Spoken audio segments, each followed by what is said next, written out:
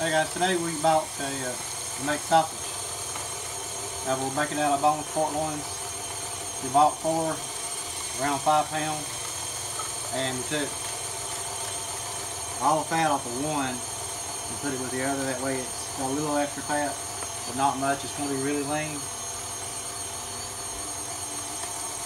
And it's not taking long at all to do it. And it's KitchenAid, grinder set. I got, we had two bowls and I got one bowl left. And I've been doing it maybe seven minutes. It's not to take long at all. We'll show you what it looks like when we get it fixed.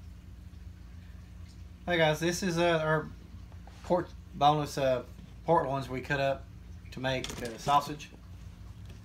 We're going to use Leggs, old fashioned sausage seasoning. It's got everything in it. All you do is, it's supposed to be 25 pounds, but I put more uh, spices to ours. That way it has more flavor.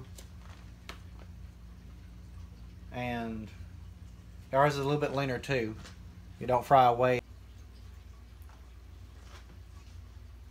We used a whole pack of that seasoning, and it's probably about 17 pounds because we cut some pork chops out of one of the loins.